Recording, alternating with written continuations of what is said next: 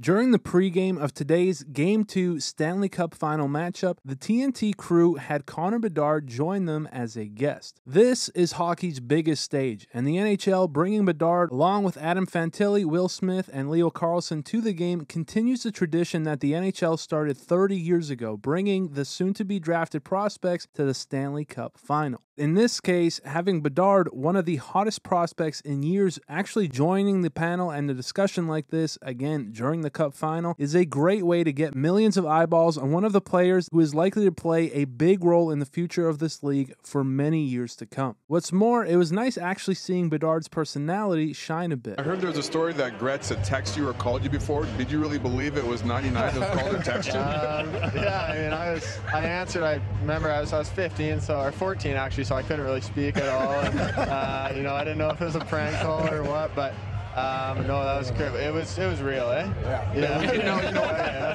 But one of my favorite parts of this segment came when he threw some shade at Paul Bissonnette. Let me just play it for you. Are, are you getting used to this being the new normal for you? Uh, you know, I'll say a couple pretty good players on this panel, and and Biz is here too. So.